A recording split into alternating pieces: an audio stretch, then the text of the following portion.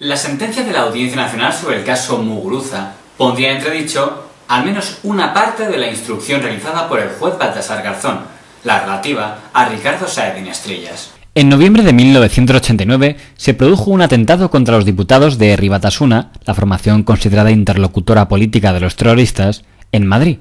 Uno de los diputados batasunos, Josu Muguruza, murió asesinado a balazos. El encargado de instruir aquel atentado fue el juez de la Audiencia Nacional, Baltasar Garzón, que, de forma preventiva, encarceló en 1990 a Ricardo Saez Inestrillas, vinculado al ultraderechismo y cuyo padre había sido asesinado por terroristas.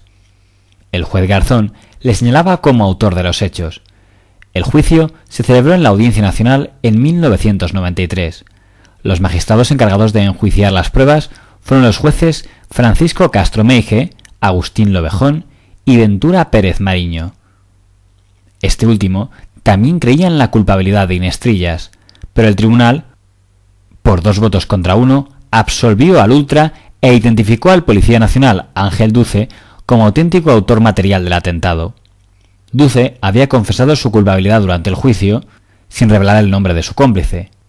Además, la sentencia de los jueces Lobejón y Castro Meije criticaba expresamente la instrucción del juez Garzón por mantener en la cárcel a Inestrillas cuando, según las palabras en su sentencia, era incontestable la ausencia de pruebas de cualquier naturaleza contra Inestrillas, frente a, añadían, detalladas y persistentes declaraciones que respaldaban su coartada.